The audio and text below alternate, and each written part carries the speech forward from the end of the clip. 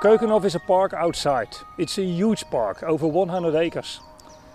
And on a regular day, when there's no coronavirus in the Netherlands, probably 30,000, 40,000 visitors will come to this place and then it's quite crowded.